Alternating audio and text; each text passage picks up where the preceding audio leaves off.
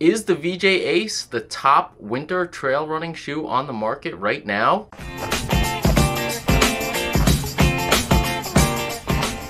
Hello, this is Mike P here from Road Trail Run, and today I'll be bringing you a full video review of the VJ Ace. The VJ Ace features 17 star-shaped carbon steel studs. It comes in at 38 in the heel, 30 under the forefoot for an 8 millimeter drop. Midsole foam is ETPE, nice and soft. The Ace is listed on VJ's website at 9.7 ounces, that's 275 grams. My size US 10.0 comes in at 11.5 ounces, now that's 326 grams. As far as fit, VJ recommends that you don't size up as much as you may typically have with VJ models of the past. Now typically my true to size is a US 9.5 but in VJ I've been wearing a US 10.5 which is a full size higher than my typical true to size. Now I'll vary between a US 9.5 and a US 10 depending on the distance of the shoe, the fit of the shoe, that kind of thing but VJ is the only brand that I've worn a 10.5 in. I followed their advice so I only went up a half size, which is somewhat normal for me, not a big issue, and this fits me perfectly. So I do have to say I'm a half size down compared to some of their other models. I find that these fit my foot really, really well.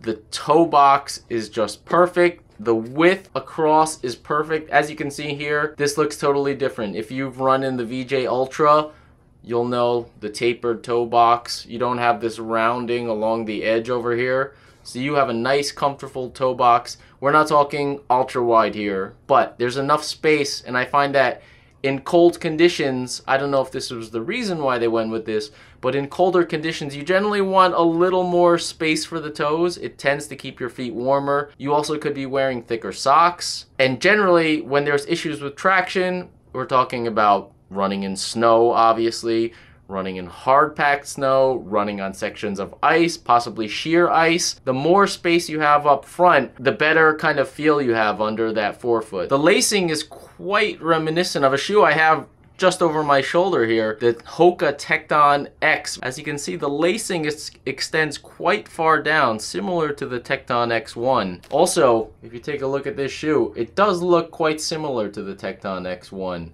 it almost seems as if they copied the general design from the lacing to the two-tone design of the midsole and even the little bit of a swallowtail. The VJ Ace features a waterproof upper. Now it's not an official Gore-Tex upper, but it is waterproof. I have tested it in snow and slush. Definitely gives you as much, if not more, protection and warmth as a Gore-Tex upper does. They don't have a particular snazzy name for it, the label here just says waterproof, so it is. The upper is a quite thick engineered mesh. Like I said, you have that waterproof outer, and you also have a gusseted tongue with an inner booty liner, similar to most Gore-Tex designs.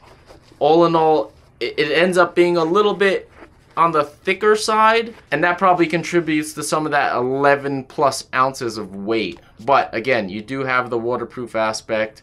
Gore-Tex shoes typically tend to be a little bit on the heavier side, so no real issues there. In the front, quite a protective toe bumper. You won't have any issues bumping chunks of ice, rocks, anything around on the trail there. It should be quite protective. Moving on to the rear, heel counter, not overly rigid, not overly soft, somewhere in the middle I'd say. One thing to note is the ankle collar is quite soft quite comfortable around. You don't have any hard edge here. I didn't have any issues. I will say this heel area is very soft. If you see here, there's not much rigidity at all to the collar around the heel and Achilles area. I found the upper to be quite warm on the run. I tested this in temperatures down into the 20s, probably in the upper teens. My feet felt extremely warm comfortable, not too clammy in those very cold conditions. Speaking of cold temperatures, this ETPE midsole is quite insulating from the ground, and that's something I found in some of my colder test runs. It doesn't harden as a traditional EVA foam does in cold temperatures. You know, sometimes when you go out running, it's very cold. They can tend to firm up. The foam is not as responsive when the temperature gets colder. This shoe maintains its softness even in the coldest of temperatures. I tested this in extremely cold temperatures and it felt soft underfoot the entire time. It does seem to be insulating. Like I said, with the EVA foams, they tend to almost feel a little bit cold, like as if they're transmitting cold ground to the bottom of your feet. This kind of feels totally different. The softness tends to really insulate the foot. I mean, in conjunction with the waterproof upper, my foot felt totally warm, even in the coldest.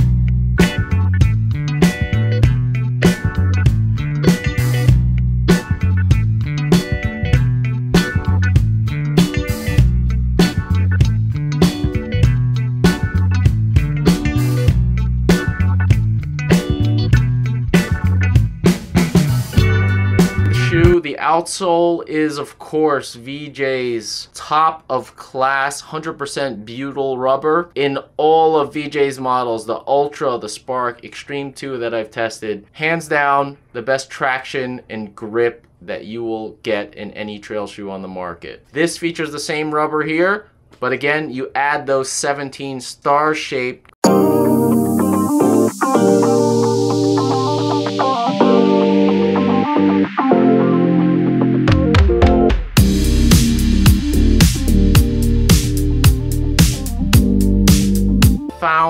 ride of the VJ Ace to be excellent. Lots of flexibility in this shoe, and I really love a flexible ride in a shoe, especially in technical terrain. Sometimes a little bit of stiffness is okay if it's really rocky, but generally I prefer to have just enough protection to allow flexibility in the ride, and this really fits the bill. Give a little flex here. You can see the flex up front you can see I'm able to twist this shoe. So what this means is when you're in that kind of uneven terrain, maybe chunks of ice, chunks of hard snow, you have that wide toe box, you have that flexibility in the shoe to contour over the ground underneath. And along with the star-studded spikes in the bottom of the shoe, it's just great for winter running. Moving on to some potential cons with this shoe. I mentioned in the beginning talking about the upper, this soft heel. That's something I also did notice on the run. Again, you could see, could pretty much just push this down right here. My heel feels a little bit disconnected as it's kind of not coming along for the ride as the shoe flexes, so to speak. I think they could use a little bit of bolstering around the inner edge here. I didn't have any slippage, so that was not an issue, but it just felt a little bit soft. I would like to feel it a little bit more locked in. Another issue that I did notice, I at times got some pressure when I was running, particularly in descents, and I noticed that where the gusset is tongue is attached to the inner waterproof liner, there there's a, a seam right there, and right on this corner, there's some pretty thick stitching in there. So when I really laced this down, it seemed to put a little pressure on the top of my feet. Other than that, as far as cons, the only thing I would say, maybe um, the weight. I mean, we're looking at 11 and a half ounces here in my US 10. That's a little bit on the heavy side. Typically for me, I'm 138 pounds, 5 foot 10. Typically when I get to the 11 ounce range is when I tend to notice sheer weight of a shoe. So 11 and a half is a little on the heavy side, but again, this is a winter shoe made for pretty extreme conditions. So you do have those studs in there. If you were running in any other type of Gore-Tex shoe, there's gonna be added weight if you were using any other type of traction devices, say micro spikes, or if you had screwed your own sheet metal screws in there, that's gonna add weight. If you're using Yaktrax, something like that, that's gonna add way more weight. So again, relatively speaking, compared to some other shoes, I would say it's actually probably, I would say on the lighter side. But generally speaking, compared to a regular running shoe, say if you were going out and you didn't need the spike traction, it's gonna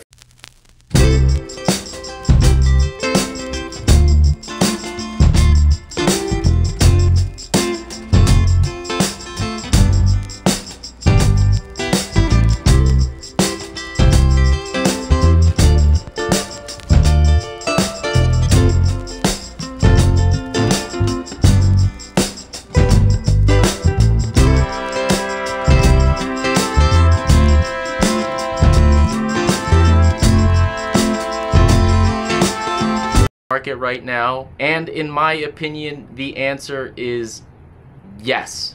Absolutely. The past two weeks, we've had a couple of storms roll through. We had a solid two week period where we were in the 20s. Snow covered trails, everything. If I didn't have to test other shoes, I would have picked the VJ Ace for every single one of those runs. The traction on the snow, especially early morning, frozen conditions, impeccable. Now, of course, this is a winter trail running shoe you have spikes on your feet. Some of those runs I actually had to drive to the trailhead. Typically, not trying to brag here, but I could run about a half mile from my house and I'm at the closest trailhead. Again, not trying to brag. But with the spikes, I made that little drive a couple times because I didn't want to mess up the spikes on the sidewalks. This is a specialized tool for winter. You're not going to run these all year long. Even within winter, you're going to use these only in specialized scenarios. But that also means they're going to last longer. So typically, if you get a winter shoe like this, it's going to last you several seasons. And I would say if you at all go out on the trails and run in those type of conditions, having a studded shoe with integrated studs and not just screwing your own sheet metal screws into your shoes, I would say it's a must have. When you get to those periods where it's two weeks, the trails are snowbound, or even longer, depending on where you live, it's just great to have a shoe like this. Now I'll just go through a couple of comps, some shoes that I've tested recently. I'll talk about maybe some different scenarios that you might want to choose one shoe or the other. If you're running in any type of slick conditions, mixed conditions, any potential for ice, VJ Ace, hands down number one pick. But I'll just go through some of the other options. Here I have an old Sense Ride 4 GTX. This is a bit firmer underfoot. I typically use this just for cold weather, casual use. I have used it hiking, running. The midsole's a bit firmer. The drop feels a little bit more apparent in this shoe. I typically don't run in it too much, but it's great for casual use. It has a nice look. Another option, the Merrell Agility Peak 5 Gore-Tex. This, of course, doesn't have the traction on the bottom, but it does have Gore-Tex. Very breathable Gore-Tex. As you can see, this shoe is very clean because I actually did run it in very snowy conditions. If it's just snowy and maybe there's no issues with traction, sometimes you get that couple inches of snow and you don't need a spike or anything like that a regular Gore-Tex shoe or, or even a regular trail running shoe is just fine. The Gore-Tex is great if your feet are cold. Moving on. Here, we have a Merrell Zero. Now, this is another shoe we tested on the channel. Again, nice and clean. I've been using this out in snowy conditions. This is a great shoe for winter activities. Snowshoeing, hiking, deep snow. If you have this gaiter and maybe a long pant that comes over this, your feet will not be wet at all. Great shoe, but this is definitely on the heavier side in compared to the VJ Ace. It's less runnable. It feels a little bit almost clunky on the run. Nice and soft underfoot, but you get better ground feel with the VJ Ace. If you want to run and it's slippery, I would go with the VJ Ace. But this is a great shoe for other winter activities. Finally, I have an old Salomon Ultra Pro here. I don't know if you can see here, I have some screw holes in here. What I did before is I would typically use my micro spikes here. They give you a little tool and you could screw in your micro spikes or sheet metal screws wherever you want. The advantage of doing something like that is if you have a shoe that you're really comfortable in, the upper, the feel of the midsole, something, you just like that shoe and you just maybe need a little bit of extra traction, you can put them in yourself. But again, you'll have that kind of cleat-like feel. They won't feel as smooth as the VJ Ace's spikes. Those star-studded spikes are really very tiny in comparison to doing a sheet metal screw or a product such as the micro spikes. Okay, so I hope you enjoyed this video review of the VJ Ace. Again, for me, the top winter trail running shoe on the market right now. If you need that traction on ice, this is a top pick. If you'd like to see more of these types of video reviews, leave us a comment. Anything you feel like asking, fire away. Thank you for watching.